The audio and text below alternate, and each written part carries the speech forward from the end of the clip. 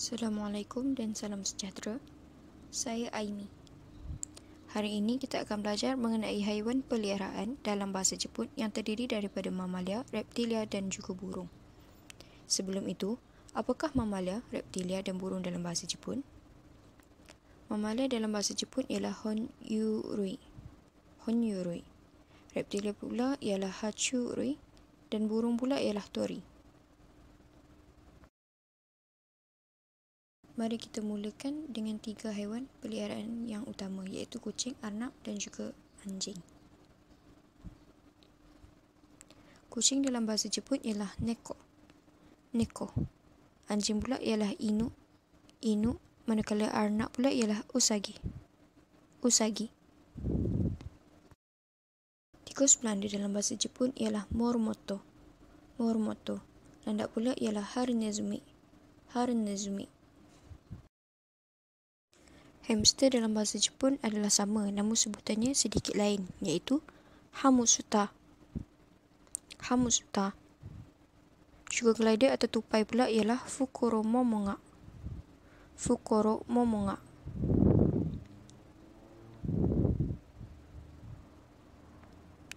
Kesemua haiwan yang disebut ialah haiwan mamalia. Kura-kura dalam bahasa Jepun ialah kame. Kame. Kame juga digunakan untuk merujuk penyu. Ular dalam bahasa Jepun ialah hebi. Hebi.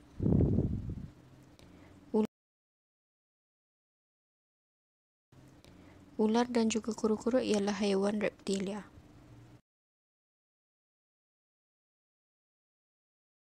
Antara burung yang banyak dijadikan haiwan peliharaan ialah burung nuri dan juga burung hantu. Burung nuri dalam bahasa Jepun ialah omu. Omu. Burung hantu dalam bahasa Jepun ialah fukuro. Fukuro.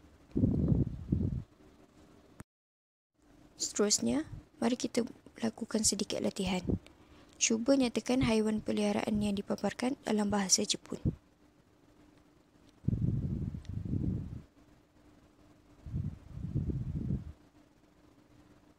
머루모토 머루모토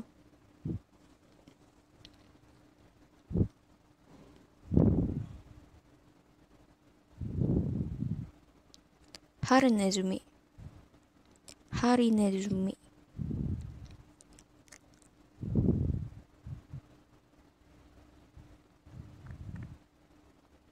까메 까메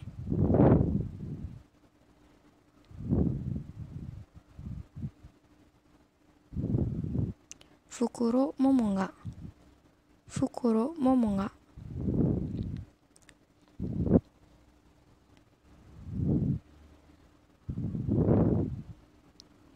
Fukuro Fukuro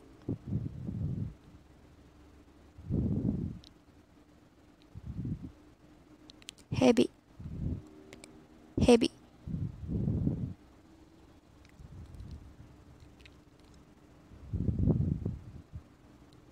Usagi. Usagi.